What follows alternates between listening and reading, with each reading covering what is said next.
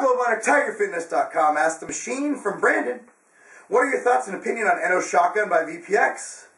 I enjoy your videos and reviews. Keep it up. Good luck on your next show.